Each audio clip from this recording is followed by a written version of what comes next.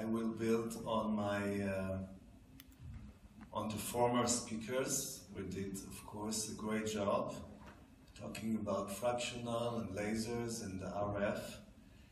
Um, and I will concentrate on the new technologies of microneedling, referring to differences between lasers and microneedle RF and differences between the different technologies of RF microneedling.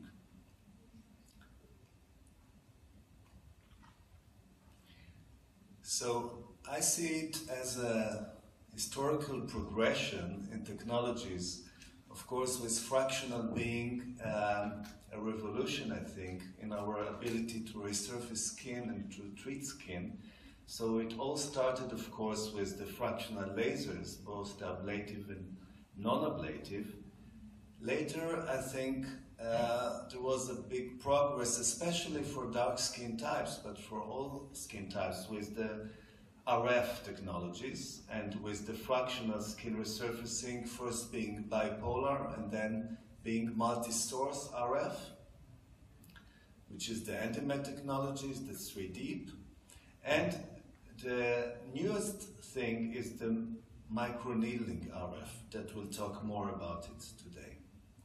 So if you're talking about the non-ablative fractional lasers, they have a few qualities. First of all, the penetration, the maximum will be uh, 100 microns, but it, it is usually less than that.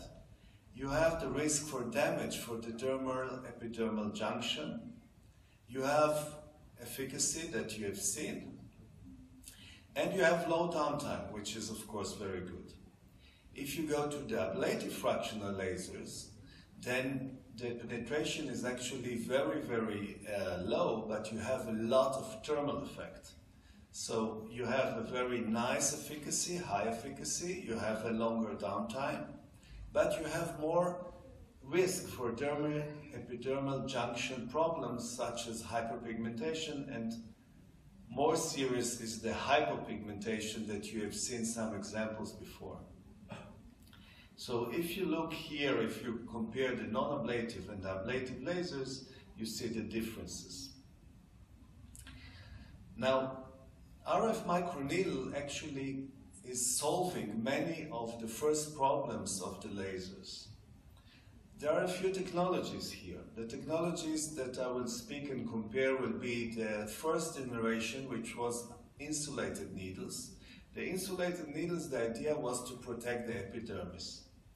But then came the second generation, which was using non-insulated needles, but with using the electrical differences in the epidermis and dermis, was able to protect the epidermis from damage, and at the same time have three times to seven times more effect than the first generation insulated needles.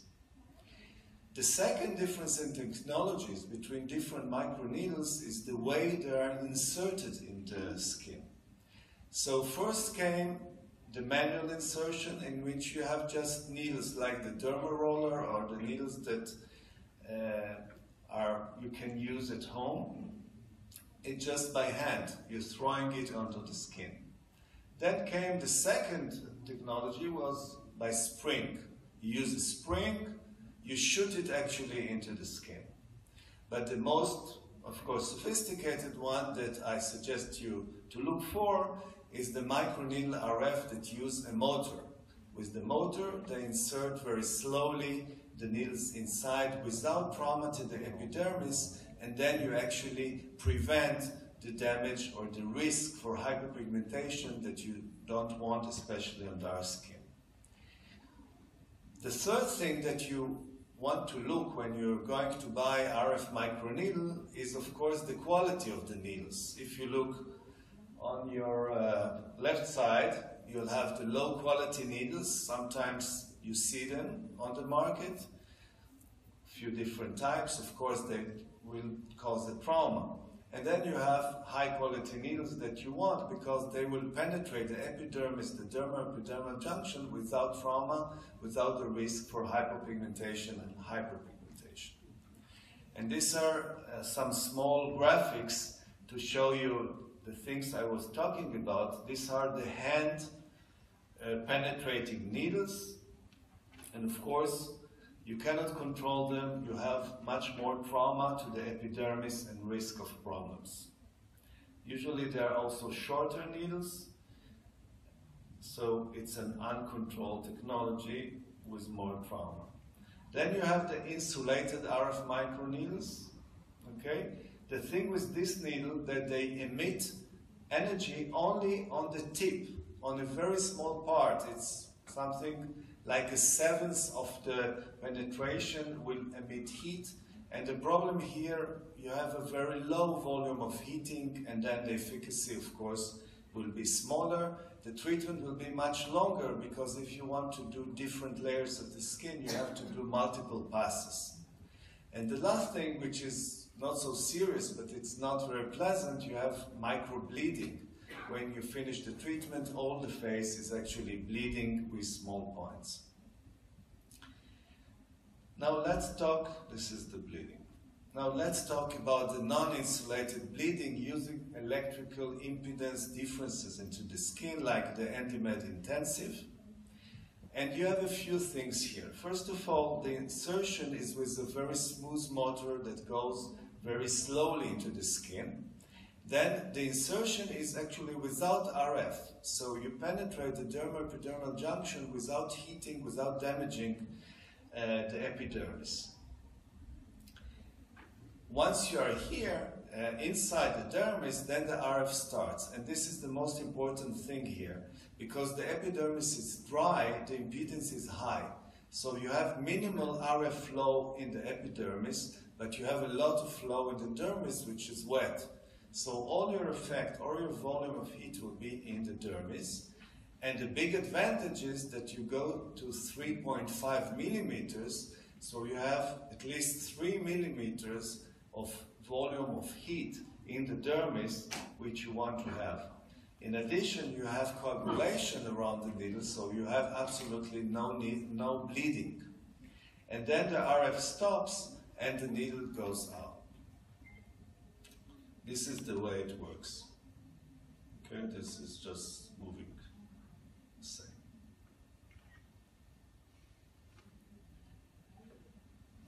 Okay. Now, if we want to talk more about this device, the big difference in technology is this, um, compared to the, all other devices in the RF that have one generator of RF, one source, in this device you have six sources. And you have also the uh, ability to use multiple handpieces on the same device. So in addition to microneedle RF, or fractional RF, you can do a very effective skin tightening for the body, the eyes, uh, the neck, and so on. So this is the headpiece we're talking about. This is a thermal image showing you the penetration and heat. This is how it works. We have also a movie we'll see later.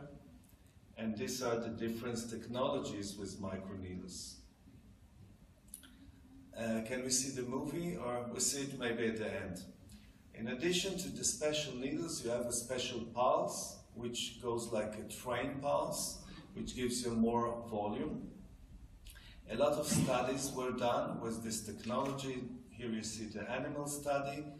What is very nice that clinically all you have is a bit of erythema for less than 24 hours and you have, as you see here in the histology, uh, absolutely um, full regeneration of the epidermis in the biopsy four days follow-up the treatment.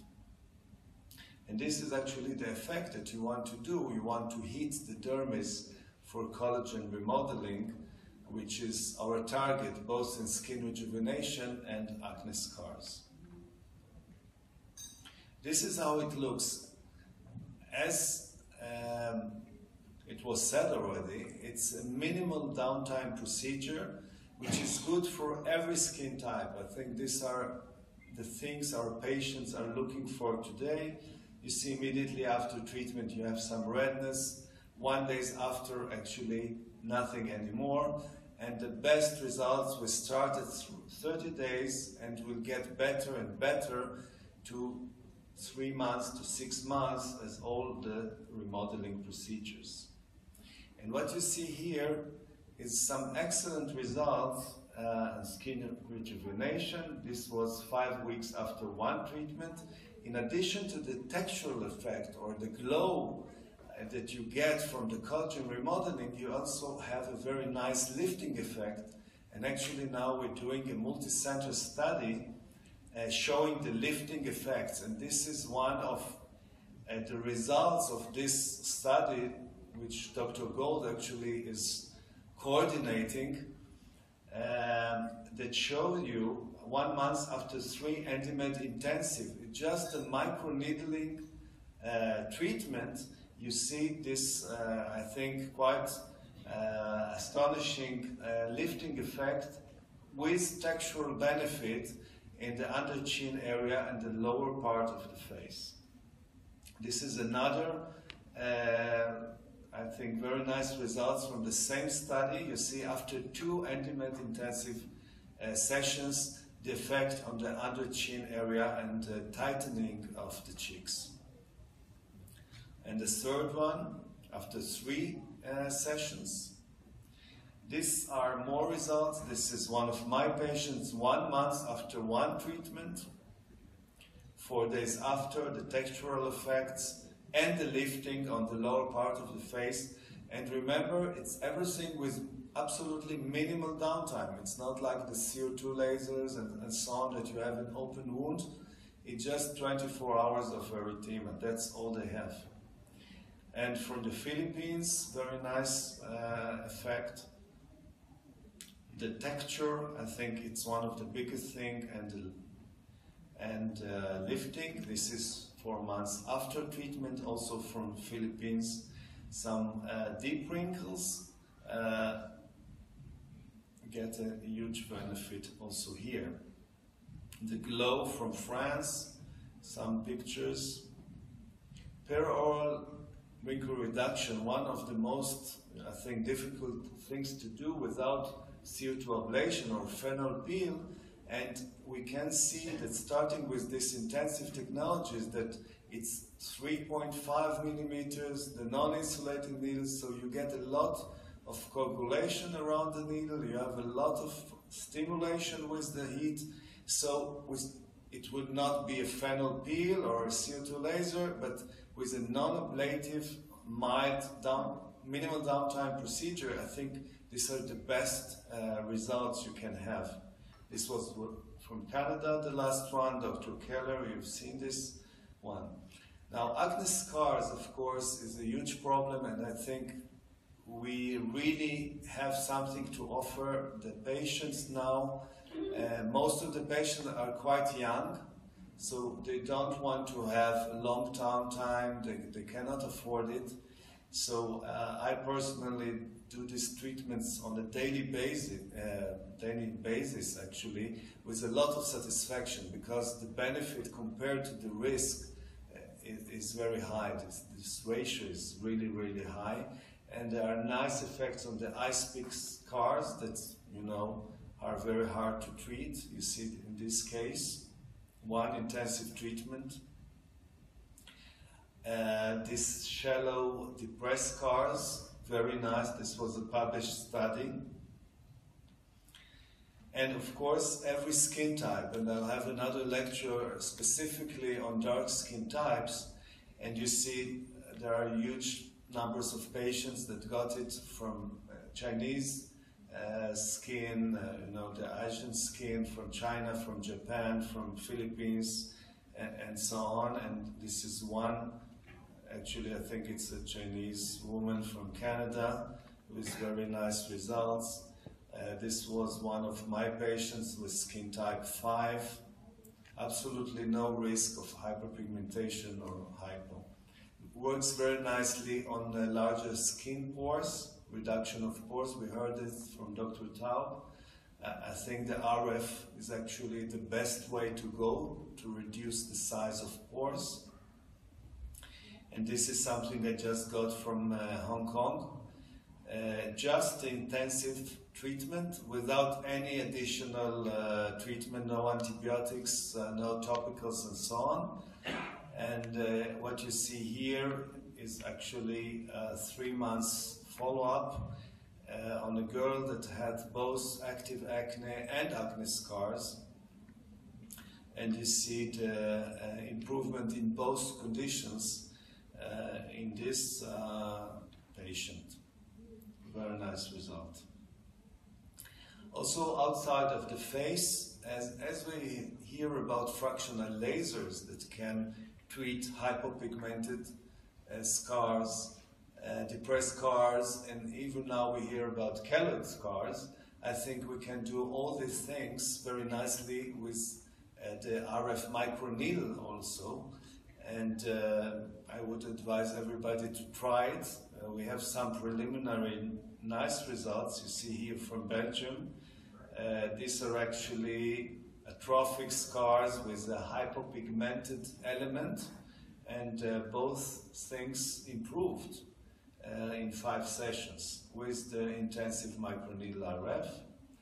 Uh, for stria, it's very nice, uh, works here as you see both on the red ones and the white ones, a nice case from Canada, another one from Canada. And I want to conclude with this very, very interesting uh, published study from Lasers and Surgery of Medicine, in which Dr. Tanaka from uh, Japan actually used the Vectra uh, camera to uh, look for both tightening, uh, contouring, and volume changes. And what you see here is the, actually the, the red, the orange and the yellow part of the picture are the areas in which there is a change in volume. Actually comparing the baseline to the six months post-treatment and it's one treatment. The, the big thing here, it's the first time somebody took one treatment with the microneedle and looks for six months follow-up after one treatment. And you see here, each month there was a follow-up, and uh, the conclusion was that you see the result after six months. So it's a long-term collagen remodeling effect. And I think it's one of the only studies, maybe the only one, that really proved that after one treatment, you have six months uh, results. And of course, you see that actually they are better. If you look uh, further to the fourth, fifth, and sixth months, you see that the, the, change, the red area is actually bigger. So that, that's the best proof that you really have a collagen remodeling effect. So there were multiple uh, patients in this uh, Japanese uh, study, which I think it, it's really one of the great studies. And is also part of uh, the multi-center study that we're doing now on the tightening, and this is one of his first uh, results from her. So uh, to summarize, I think microneedle RF uh, is here to stay. It's one of the best technology that we have today, but there are a lot of differences between devices, so you have to look in different qualities of the device you are looking for.